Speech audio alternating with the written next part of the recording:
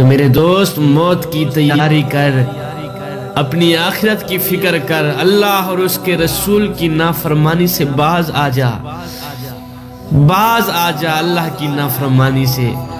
باز آ جا اس کے رسول کی نافرمانی سے۔ کہیں ایسا نہ ہو کہ وہ تمہیں عذاب میں بھی نہ ڈال دے۔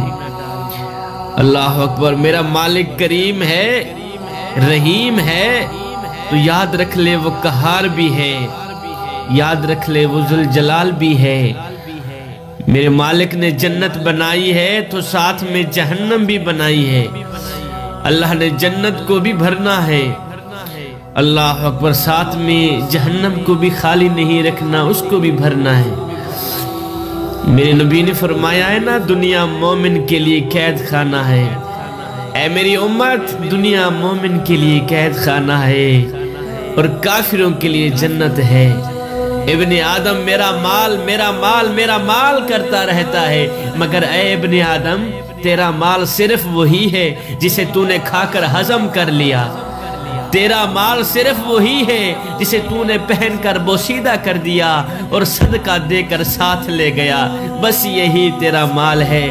زیادہ ہائے ہائے کرنے کی کوئی ضرورت نہیں۔ دین کی بات پھیلانا صدقہ جاریہ ہے۔ ثواب کی نیت سے ویڈیو کو شیئر ضرور کیجیے جزاك الله.